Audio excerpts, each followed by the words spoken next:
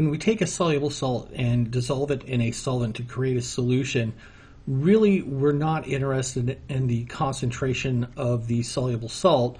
What we're interested in many times is the concentrations of the ions that are in solution. And that's this is going to lead us on into using molarities during uh, calculations with reactions. And it's going to be these ionic species that are involved in reactions, not the uh, soluble salt form. So remember, by definition, a soluble salt disassociates 100%. So there's going to be very little of our iron 3 sulfate here.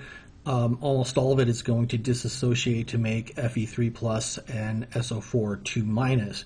So really what we're interested in is the concentration of these species, and that's what's going to be involved in our reactions.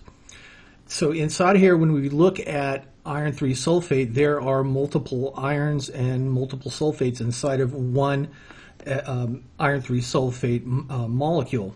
So soluble salts can dissociate to produce higher concentrations of ions. So there's a, a ratio here. Uh, when we dissociate iron 3 sulfate, we end up making two Fe3 plus and three sulfate uh, anions here, and that's going to affect the concentration of these species. And remember, that's what we want to know because it's uh, these species that are, are going to be involved in reactions.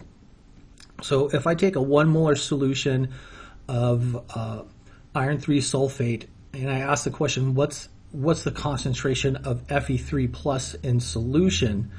I use this uh, disassociation to come up with mole ratios. So just like what we did when we were talking about limiting reactant problems, I can use this uh, disassociation reaction to come up with mole ratios. So it says that for every one iron 3 sulfate that I disassociate, I end up making uh, 2 Fe3 plus and 3 SO4 2 minus. So I can use this mole ratio.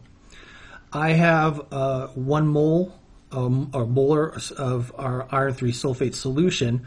I then multiply by the mole ratio. The, this disassociation says that for every one iron 3 sulfate, when I disassociate, I'm going to be making two uh, Fe3 plus. So I, I can also say for every one mole of iron 3 sulfate, I'm going to be ending up making two moles of Fe3 plus after this disassociation.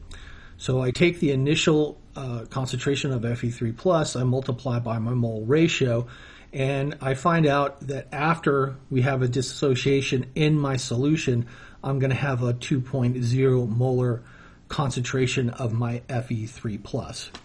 And I, I, can do the same thing for sulfate. Uh, in this case, it is a 3 to 1 ratio, so for every one uh, Fe3 plus uh, or iron 3 sulfate that I use up, I make three sulfates. I do the same thing. I take the initial concentration of my iron 3 sulfate and I multiply by my mole ratio. So here uh, it's 3 to 1, and I can say for every 1 mole of iron 3 sulfate that I disassociate, I'm going to end up making 3 moles of sulfate in the solution. So when I multiply through, after the dissociation, um, I'm going to have a concentration of sulfate of 3.0 molar.